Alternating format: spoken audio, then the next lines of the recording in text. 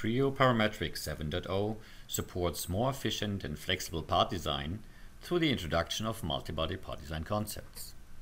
The new body concept and object type allows you to easily handle distinct geometric volumes in the part design environment and manage, visualize and design those geometric volumes individually.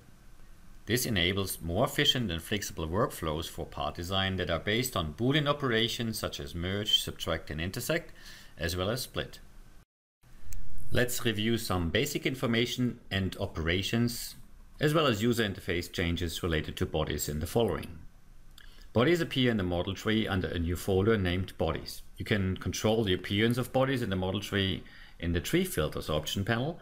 For example, you can control the appearance of certain characteristics as the presence of subnodes that show features that are contributing to a body. Show or hide bodies and their geometry independently to make it easier to visualize the relevant design context at any time.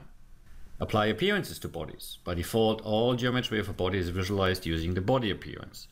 Appearances that you assign to individual surfaces are applied on top of the body appearance.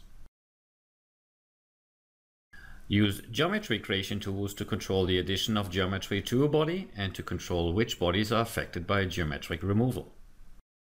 Default body logic automatically fills body references in body collectors to the default body. The default body is marked with a blue star and is automatically set in typical workflows. You can also set the default body manually from the body mini toolbar. The default body concept, along with other body functionality, preserves the supported workflows in a single body model.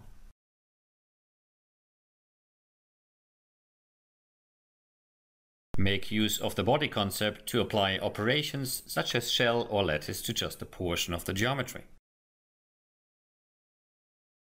Use Boolean operations as a method to merge, subtract or intersect selected body geometry with geometry of other bodies.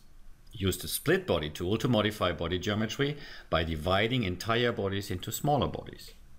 Create a new empty body and assign geometry to it in subsequent design steps.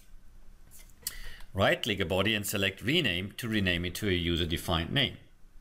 Note that body names must be unique within a part. Use the Remove Body command to remove a body as a feature in the model tree. Permanently delete empty bodies that are no longer referenced by any feature using the delete command in the shortcut menu.